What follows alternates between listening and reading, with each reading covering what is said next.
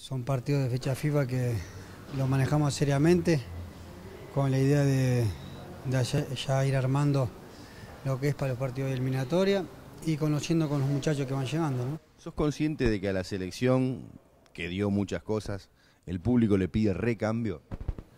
Sí, el, público, si, si se gana, el público no te va a pedir nada. Pero obviamente cuando por ahí uno no gana un campeonato, y obviamente que, el público siempre pide cambios, pide cosas diferentes. Pero bueno, nosotros cada vez que venimos a la, a la selección venimos con muchas ganas, con un orgullo, porque para el jugador de fútbol es lo más lindo que hay. Estar en una selección, defender al país, y nosotros nos intentamos hacer de la mejor manera.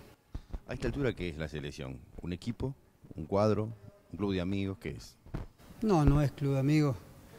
Somos Uruguay, somos representantes del país y que en lo cual me siento muy orgulloso, igual que todos los compañeros, defender a la patria. ¿no?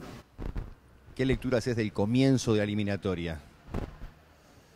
Y bueno, como todo, como todos hablan, que, que no va a faltar Eddie, que no va a faltar Suárez, que obviamente son piezas fundamentales, son de los mejores delanteros del mundo, pero, pero bueno, Uruguay tiene muchísimos jugadores, esperemos adaptarnos bien y hacer un buen comienzo.